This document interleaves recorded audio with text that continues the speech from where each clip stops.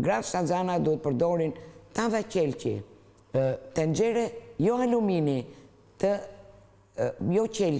tenxhere qelqi, të gjitha sa më larg aluminit dhe mërkurit. Gjithashtu, në lidhje me krudot, patjetër që nuk rekomandohet shpeshherë, mund të ketë bakterie, ne nuk rekomandojmë dhe mishin, mishin e mishi po nuk u zie mirë, gruaja shtatzanë nuk duhet ta konsumojë. Pse? Të gjithë ne kemi jemi njerëz, kemi ngrënë mish në zgarë, kemi prekur mish, kemi përgëdhelur një qen, një mace. Çfarë ndodh? Në organizmin tonë futet një bakter që quhet toksoplazma. Ai rri i qetë mundet gjithmonë Se mishi mund të mos jetë dhe infektuar, po flas gjithmonë një mundësi. Mundet që ta kesh ti këtë toksoplazmën dhe ai të rri shumë i qetë në organizmin tënd. Po. Në momentin që ndodh shtatzënia, që është një vërshim hormonal në organizmin e gruas, atëherë çfarë ndodh? Ky bakter merr një overgrowth mbirritje i themi neve dhe mund të kafshojë placentën duke dhënë një abort, mund të kafshojë membranat duke dhënë lindje të parakoshme, mund të kafshojë dhe bebit duke dhënë anomali ke fëmija. Shpeshherë, Në klinikë neve na paraqiten dhe gra shtatzana, të cilat nuk kanë bërë asnjë këshillim parakoncepcional, që kjo analizë duhet bërë përpara se të ngelesh shtatzanë, vijnë dhe thonë ne jemi shtatzanë dhe kur i bëjmë këtë lloj analize, del që ajo ka një toksoplazëm pozitiv. Është shumë e vështirë pastaj për t'u trajtuar Se thashë në tremjorin e parë ndodh organogeneza dhe ne nuk japim mjekime. Dhe nuk ke më zgjidhje më pas. Janë këshilla shumë të vlefshme doktoreshë dhe unë të falenderoj shumë që i ndave me ne. Dua në fakt që ndalemi siç e thashë edhe tek tërmeti sepse ne po flasim për gjithë këto kujdese gjatë kohës së shtatzanisë, për lindjen, paslindjen, ndërkohë që siç e thashë ka pasur raste që duken jashtë normales në Turqi, një nënë e cila ka sjellë në jetë, në rrënoja, një fëmijë. Si është kjo e mundur? Edhe ndodh.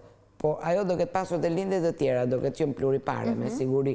Por edhe fëmija tjetër, që kishte lindur me kordon dhe mbante kordonin, unë nuk e di se si nuk ka humbur gjak. Janë gjëra vërtet eksepsion, gjëra shumë të rralla. A shpjegohen nga ana mjekësore? Sigurisht të gjitha shpjegohen. Që ndodh ndonjëherë fëmija e shtrëngon vetë kordonin me dorë dhe nuk lë që t'i dali gjaku i tij. Por, A ka patur raste të paktën në Shqipëri kur ju mund t'i cilësoni si të pazakonta që një nënë ka sjellë në kushte shumë të vështira një një fëmijë dhe Atëherë, para viteve nëntëdhjetë, para viteve nëntëdhjetë gratë lindin edhe në fushë. E prisnin kordonin me një brisk E lidhnin me ça mundin dhe drejtoheshin pastaj në shpitë e tyre, pa pasur nevojë fare as për mami, as për mjek.